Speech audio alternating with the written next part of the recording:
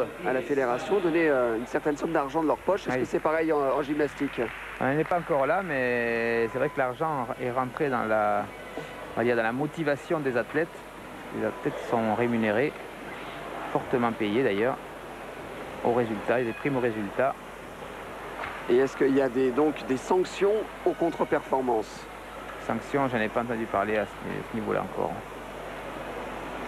Vous imaginez la pression qu'il y a sur les épaules des- de ces athlètes. Raphaël Martinez, les barres asymétriques.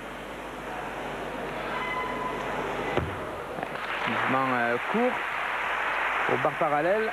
Oui, les, pour les barres asymétriques.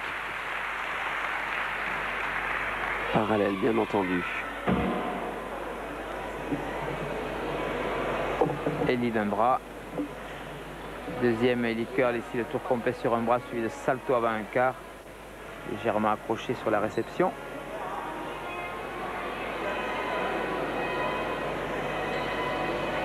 On voit ici les jambes qui vont toucher, regardez là.